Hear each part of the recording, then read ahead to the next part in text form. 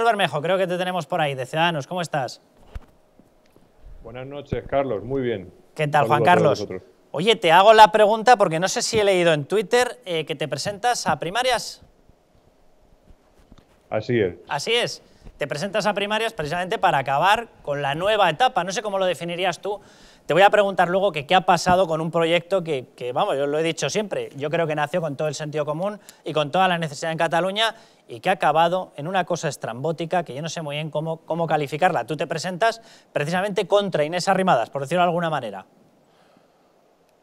Bueno, yo me presento a las primarias para ser candidato a la Comunidad de Madrid. Eh, a la Comunidad de Madrid, vale, vale, perdóname, perdóname. Efectivamente. ¿Qué es lo que ha pasado con ese proyecto, eh, Juan Carlos? ¿Qué es lo que ha ocurrido con una, eh, un partido, una formación que nació precisamente para defender la Constitución, la unidad de España, el Estado de Derecho, valores que hemos defendido todos desde hace muchísimo tiempo y que están desafiados por el Partido Socialista y que acaba pretendiendo pactar con el Partido Socialista? Bueno, efectivamente, Ciudadanos nació para todo esto que has dicho, pero también para una cosa muy importante, que era para cambiar las cosas, es decir, para modificar todo aquello que no estaba funcionando bien dentro de este eh, régimen democrático que tenemos hoy. Y eso, cuando tuvimos la oportunidad de hacerlo, no lo hicimos. Eh, Rivera nos traicionó a todos, eh, al menos no intentando formar un gobierno con esta personaje que tú has descrito muy bien, pero que antes de esa descripción, eh, en abril del 2019, tuvimos la oportunidad de cambiar las cosas, o al menos intentarlo. Fíjate eh, todo lo que se podía haber hecho en un pacto de gobierno, incluida la modificación de la ley electoral, esa que ahora les ha permitido nuevamente a los independentistas tener mayoría en Cataluña. Esto y no otra cosa fue lo que provocó que los ciudadanos no retiraran la confianza y pasáramos de 57 a 10 escaños. Esta es la pura realidad, Carlos. Si los ciudadanos no ven utilidad en tu voto, entonces te retiran la confianza. Este mensaje que tú nos estás trasladando, que parece de puro sentido común, en la cúpula de Ceanos me refiero a Arrimadas y lo que ya se denomina los dos sargentos de Arrimadas, Cuadrado y Espejo. ¿No lo ven? Bueno, vamos a ver, los dos sargentos y Arrimada son igual de responsables que Rivera, porque ambos, vamos, en este caso los tres, aplaudieron a pie juntilla la locura en la que entró nuestro líder y, que, bueno, decidió de alguna forma hacerse dueño del nuevo Partido Popular, que ese era su único objetivo, una ambición desmesurada.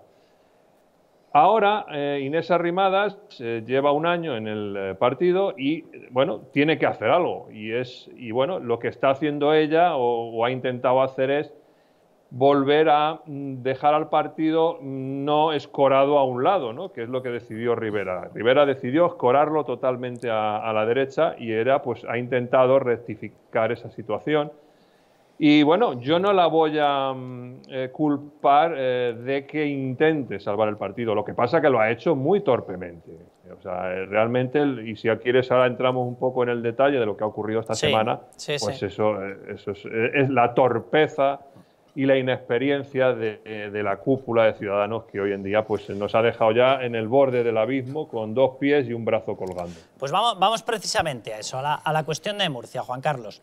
Vamos a ver, un partido que nace eh, para sí, efectivamente, y tú lo decías, para modificar determinadas conductas de la, de la política que no tienen sentido eh, y que había que retocarlas, pero yo sinceramente sigo pensando que los principales objetivos, ese era uno de, las, de los fines, pero lo principal era precisamente esa presencia de los derechos y libertades que se aplican en todo el resto de España, bueno, no en todo el resto, porque en País Vasco y Navarra podríamos hablar mucho, Baleares también, Comunidad Valenciana también en ocasiones, pero bueno, en Cataluña era posiblemente el territorio en el cual más vulneración había de la posibilidad de sentirte y ejercer como español, con todos, con la plenitud de los derechos y libertades que nos da la Constitución. Y nació para defender la unidad de España, la Constitución, esos principios, defensa de derechos y libertades, ¿cómo puede ocurrir que en Murcia se acabe planteando que lo mejor que se puede hacer es pactar con el mismo Partido Socialista que consiguió la gobernabilidad de Pedro Sánchez, el voto decisivo, en la sesión de investidura de Bildu, de los proetarras, que ha regalado la entrada a posiciones de poder muy potentes en Navarra a los proetarras, que gobierna con PNV en el País Vasco, que tiene pactos tanto con Junts como con Esquerra, con Esquerra absolutamente decisivos, en Cataluña, que gobierna con todo el catálogo de nacionalistas separatistas y que Madrid lo ha convertido en una especie de polvorín de los comunistas. Vamos a ver, Carlos. Eh, lo natural en mayo del 19, eh, y es lo que los ciudadanos murcianos eh, dictaminaron, era cambiar las cosas, intentar formar un gobierno con quien había ganado las elecciones y dejar fuera de ese gobierno a quien llevaba 24 años en, en el poder. Eso no se hizo. Decidimos pactar con el PP. Bueno, pues eso hay que respetarlo hay que respetarlo. Y lo que hemos hecho ahora ha sido romper un pacto sin, una, em, sin un casus belli manifiesto. Es decir, lo hemos hecho torpemente. Y además eh, lo hemos hecho sabiendo que nuestro grupo en Murcia estaba totalmente dividido. Es decir, que había tres eh, diputados que habían defenestrado a los otros tres. Eh, entonces, eso era manifiestamente un riesgo y de lo que se ha aprovechado el Partido Popular y, nuestro antiguo secretario de organización, Hervías, que entre todos pues han hecho que estos diputados al final no apoyen la moción de censura.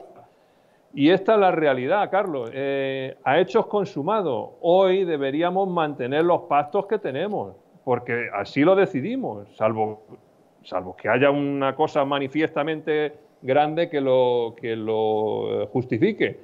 Insisto, pero todo viene de atrás, eh, Carlos. No fuimos capaces de, interpretar el mandato de las urnas. Y lo mismo nos ocurrió en Castilla y León y en Madrid.